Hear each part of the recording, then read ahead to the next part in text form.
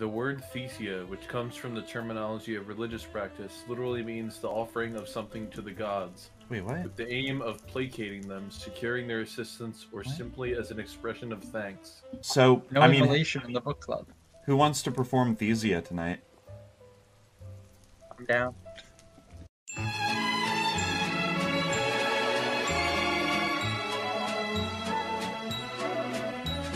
So that our ashes may be reborn anew for a greater purpose. It is thus that I take hold of the righteous flint and steel and prepare our final moments. Are you ready? So excited, yeah.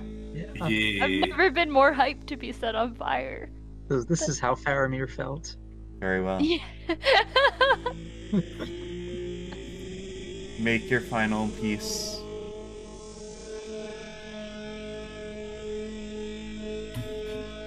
Quick, lay down.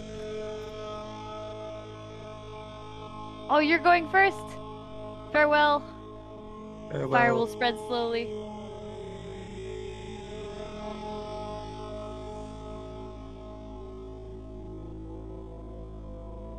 Hmm. It has been done.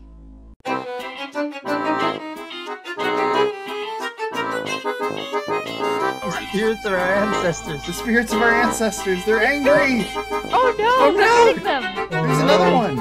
Oh, there- there's another! They're mad at this this infernal rite that we have passed.